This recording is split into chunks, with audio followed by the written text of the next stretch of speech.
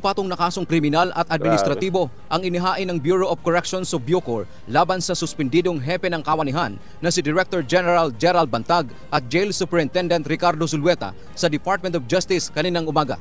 Paglabag sa anti-torture Tingnan nyo mga karilto ko saan na naman sinampa. Sa DOJ pa rin. O, diba? Talagang gusto nyo dan talagang anuhan si, ano, si General Bantag, ah. Doon ako nagtataka sa kanila, eh. Eh, syempre, alam na natin kung bakit sa DOJ. May magic dun, eh. May nagiging magic.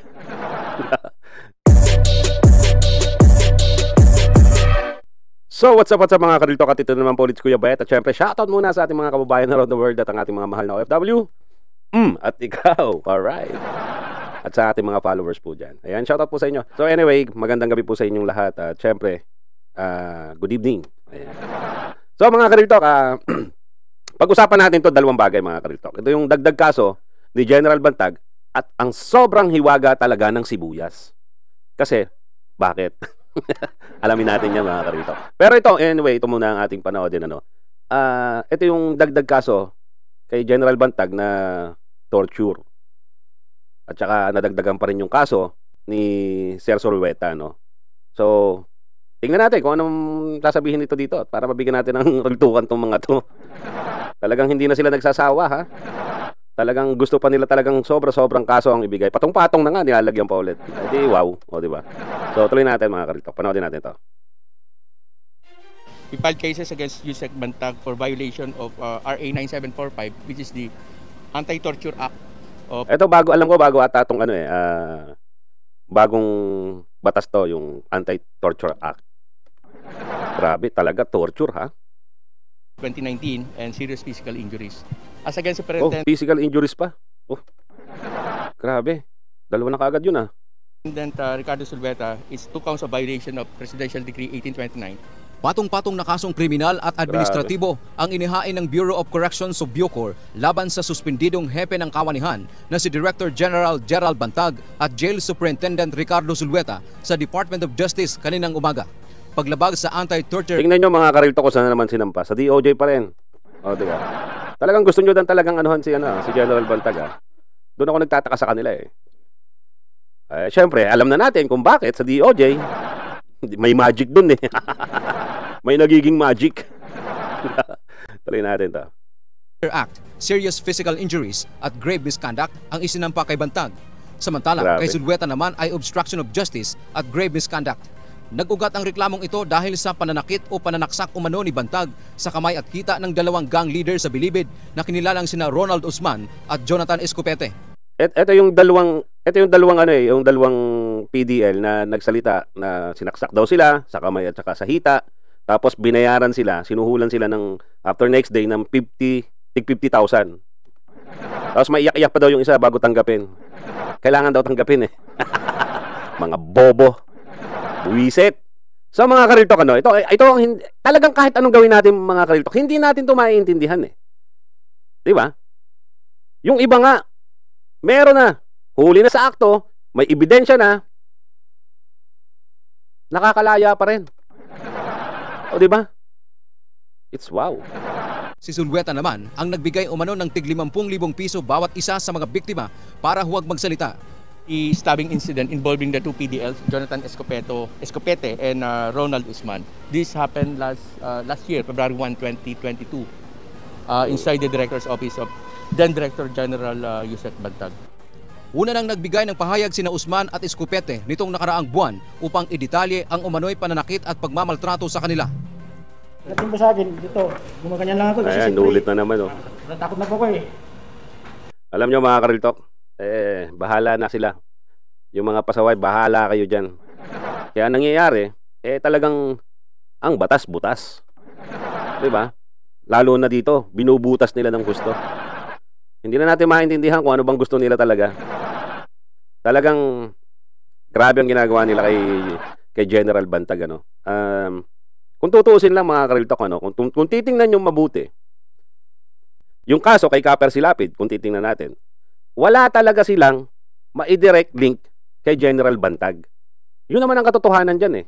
Kung bakit ba ito humaba-haba, bakit ba ito tumatagal. ba? Eh di sana kung talagang kung talagang malakas ang ebidensya nila, eh di sana Baka nga marami nang nangyari, 'di ba? Ay wala eh. Hanap pa, hanap pa rin sila ng hanap na makakapagdiin kay General Bantag. Katulad nitong dalawang PDL na to, di ba?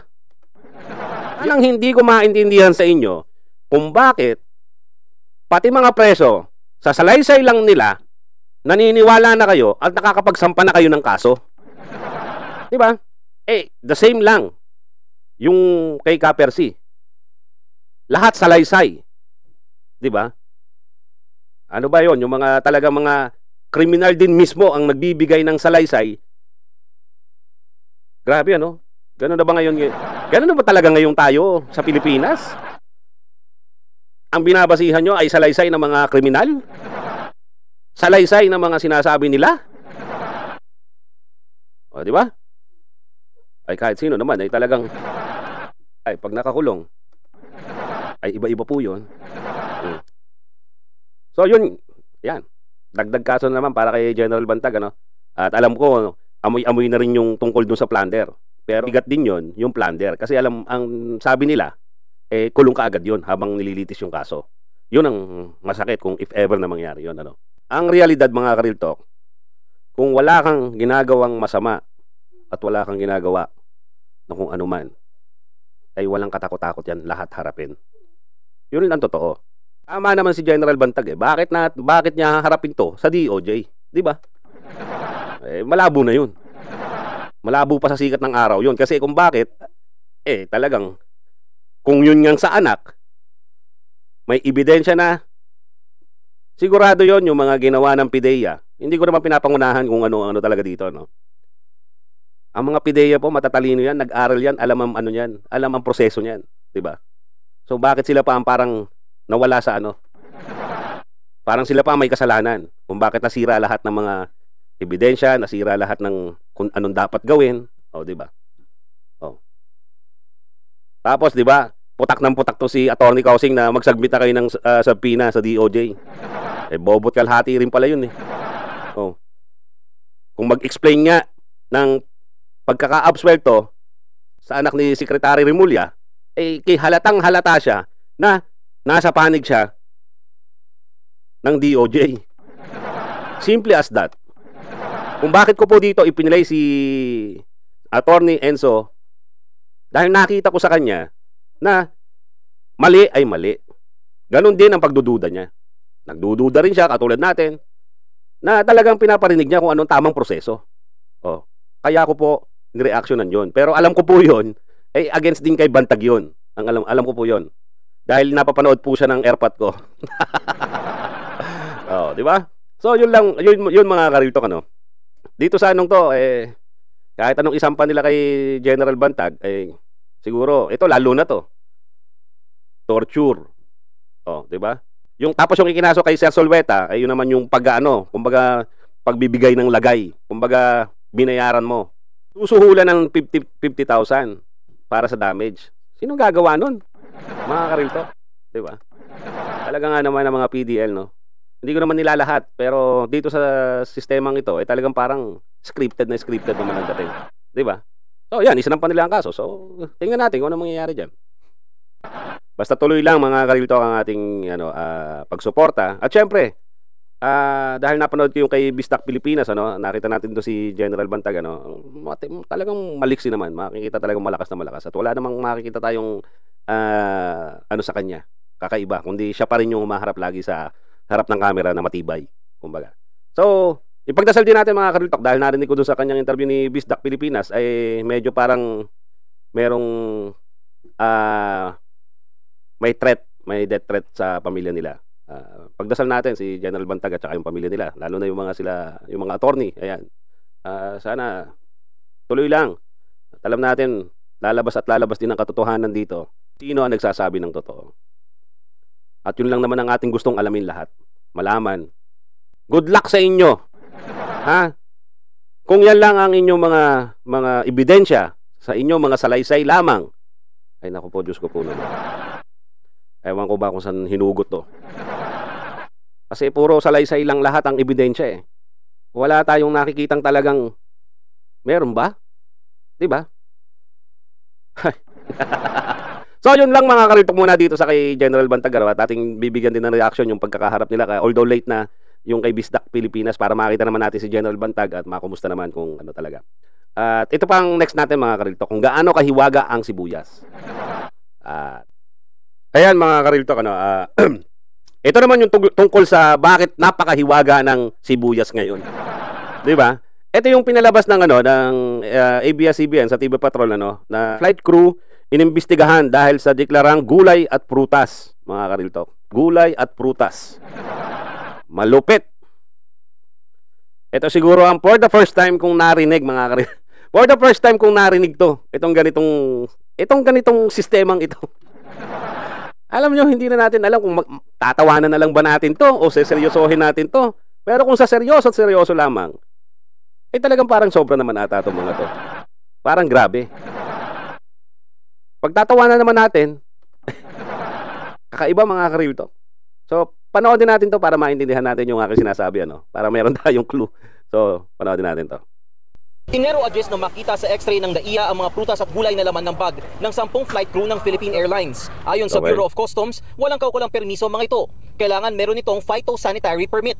ang ginawa po is uh, chinek kung meron silang goods to declare. Lahat sila nag-tick doon sa QR code ng no. After physical examination, nakita na yung Ayan o, nakita yung examiner ng assorted agricultural products. Violation po yun. Ha? Okay, babasahin natin na maayos mga kariltok ha. Talagang, ah, ito talaga. Talaga? ang ginawa po is uh, chinek kung meron silang goods to declare. Lahat sila nag-tick doon sa QR code ng no. After physical examination, nakita na examiner yung mga assorted agriculture products. Violation po yun. Sa tala, Ha? So hindi ko po alam, ah, ayoko pong pangunahan to ano. Ito, ito, ito, ito. Ibig sabihin 'yon, ah, may ginawa silang goods to declare. Pero lahat sila nag na sa QR code nag-no. Tapos na nahuli ng examiner na assorted ano products violation po 'yon. Violation pala 'yon. So hindi ko alam pero parang nakakaano naman to. So tingnan natin mga karilto kung ano mga dinala no bago tayo mag-react dito no. Kasi nakakabwisit din to eh. Violation po yun. sa tala ng BOC, 27 kilo ng sibuyas, halos 10 kilo ng lemons, at 1 kilo ng strawberry at blueberry ang nakumpiska mula sa 10 flight attendants. Oh. Ayan. Ayan ang mga na nakumpiska. Galing Riyadh. So 11 point kilos onions, 6 kilos lemons. 0.5 15.5 kilos na onions galing Dubai, 4.5 kilos na lemons, at 1 kilo strawberry and blueberry. Wow, violation din pala to. Akalain nyo yan, hindi natin alam yung mga kariltok na violation pala to. No? So siguro dahil nga hi- hindi sila nag- nag-sign sila ng no. Ano ang problema sa inyo mga agriculture? Sobrang taas ng onions, yung mga flight crew nagdadala ng sariling onions na galing kung saan man sila bansa galing. Oh, di ba? Ultimo yung mga umuwi ngayon ng Pilipinas, nagdadala rin ng mga onions. Kasi nga mahal diyan sa Pilipinas. Tapos ngayon, ang lupit ano? Hindi naman nakakatawa no. Ito pang gamit, panggamit pong pangluto. Mm, yung strawberry at blueberry isang kilo, okay, pwedeng kainin na lang, oh, di ba? Kinakain yan din ano eh. Pero yung onions, sibuyas, napakahiwaga mo talaga. Hindi po alam kung bakit naging violation yun, ano. Pero, ito, itong mga balitang ito, dapat hindi na to ibinabalita. Bakit? Kasi, ang lumalabas dyan, agriculture, ang may kasalanan dyan. Kung bakit na napip- napipilitan ang mga tao na magdala sa atin, sa Pilipinas, ng mga sibuyas. Kasi napakamahal sa atin. My God, grabe naman kayo. So tuloy natin ha. Piska mula sa 10 flight attendants. Ayon sa Bureau of Plant Industry, kahit kaunti lang, maaaring may turing na smuggling pa rin ito. What? Put. Walang iya naman. Ito talagang hindi na hindi na to makatao mga karinto. Dahil sa sibuyas, smuggling pa rin yan. Eh halimbawa mga kariltok, yung mga galing sa ibang bansa nagdala ng sibuyas sa maleta nila. Smuggling na rin yon. Halimbawa, isang buong maleta ang dala sibuyas. Smuggling na rin yon. Oh, katawa-tawa man o kah- kahiya-hiya man na magdala ang mga taga ibang bansa na galing sa ibang bansa na magdala ng sibuyas sa atin, dahil nga mahal, ay smuggling na pala yun. Kahit kakaunti. Oh. So, yun. Malay natin mga kariltok, pasalubong nila yun para sa pamilya. oh, di ba? Oh, edi sana mura, oh, di ba? Dahil sibuyas, napakahiwaga. Hmm. Hindi ko maintindihan dito mga kariltok ha. Tingnan nyo ha. Itong balitang to, galing TV Patrol, ABS-CBN. Hindi ko alam kung bakit ito ibinalita. Ito ba ibinalita dahil may patama sa agriculture? Sino ba nasa agri- agriculture? Di ba ang ating presidente? Oh, pangalawa, ito ba ibinalita para sa mga mamamayang Pilipino na makita na talagang napakamahal ng sibuyas kaya nagdadala ang mga tao for goods. Hindi mo na alam kung sino sisisihin mo dito sa balitang ito. Para tayo naghihilahan lahat pababa. Dahil dito sa ganitong issue. Di ba? Tuloy natin. Pa ng BPI. Madalas itong nangyayari pero hindi na nire-report dahil sa kakaunti lang ang pinupuslit. Ayon sa tagapagsalita ng Philippine Airlines sa Cielo Villaluna, inimbestigahan na nila ang naturang insidente. Haharap din sa disciplinary sanction sa kanilang crew batay kung anuman ang kalalabasan ng investigasyon. Panawagan naman ng Customs at BPI, lahat ng pasahero maging crew ng mga airlines, dapat na ideklara ang mga bagay na bitbit nila, lalo na ang mga agricultural products mula sa ibang bansa. Rafi Santos, ABS-CBN News. Sa tingin nyo ba yung kanilang ano, yung kanilang daladala? Yan ibebenta yan? Wala stick naman to. O di ba? Sa tingin ko yan ay para para sa kanila mismo. O di ba? Grabe. Ewan ko. Ito ang isang katawa-tawa talaga na nabalita rin talaga na hindi mo alam kung sino ang tama dito eh. Oh, di ba? Tama ba na magdala ang- ng sibuyas sa mga flight crew? Tama ba na i-hold naman ng ano, naiya tapos may may kasama pang sampang kaso o da sampang reklamo? Pwedeng mapunta pa sa smuggling. Grabe. Ano ano ang pwede nating anuhan dito mga kariltok? Sino ba ang papanigan natin dito? Sino ba may tama at mali? O di ba? Ang isa lamang diyan kung bakit nangyayari 'yan ay dahil talagang sa sobrang mahal ng sibuyas sa atin ngayon. Sa kung saan ditong parte ang nakakahiya. Nakakahiya ba yung mga flight crew na nagdala ng ganyan? Ng ilang kilong sibuyas? Nakakahiya ba ang naiya? Dahil sa paghuli nila? O pag ah, pag-hold nila niyan?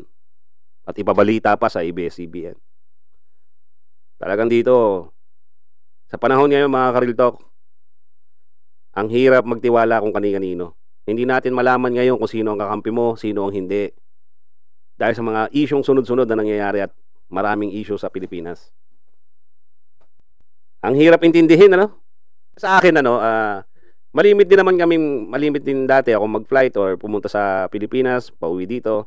Mostly nga rin mga karil talk, siguro pwede nilang samsamin. Samsamin na lang nila. So kung bakit ibinabalita pa to, hindi ko alam kung ano ang gusto nilang ipalabas diyan. 'Di ba? Kasi maraming maraming pupuntahan tong balitang to eh, kung tatanungin niyo eh, 'di ba?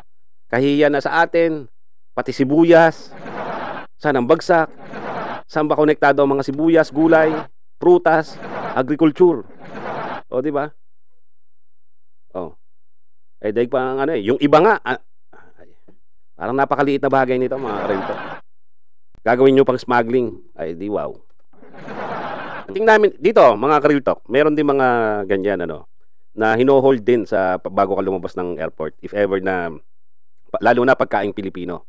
Ah, mga tuyo, mga kung ano-ano, basta nabuklat yung iyong ano, mostly mga tuyo kalimitan eh. Hotdog, pinagkukuha yan eh. So, yun ang isa rin ditong bawal. Pero pag nakalusot ka naman, lusot ka naman eh. Pag hindi, pag na-hold ka lang, ang natingnan, yun. Dahil pag halimbawa from Asia ka, mostly, pag talagang marami ang maleta mo, pinag, ah, pinabubuksan paminsan-minsan talaga. Tapos hino-hold na lang sa airport yung mga kung ano-ano mga galing pagkain sa Pilipinas. Kaya mas maganda balot na balot. 'Yun. Pag kami, ngayon, nasanay na lahat na mga yung mga galing dyan sa Pilipinas at pupunta dito. Talagang binabalot nila ng husto para hindi mangamoy, para hindi makita kung ano. Yun yun yung mostly na ano. Eh, pero dito eh ewan ko ba kung bakit kung bakit ganyan ang balita. Parang nakakahiya naman 'yan. Di ba? Ganyan lamang. Sana maayos yung ganyang ano, no, sistema. No? At kung bakit ang mga tao eh, hindi mahihiyang mag-uwi ng mga sibuyas, ay talagang mahal sa atin. Yun ang pinapakita. Ang hirap talagang ganon. Meron niya mga iba, mas malala pa ang, ang ano, tapos ito, smuggling. E di, wow. Kayo mga pasaway dyan, bahala kayo dyan. So, yun lang mga kaliltok at ah, at ito na naman po ulit si Kuya Bayet at laging sinasabi, magkikita at magkikita po tayo dito sa patasulong ng kamerang ito at lagi pong tatandaan, keep safe and stay healthy po. Bye-bye you.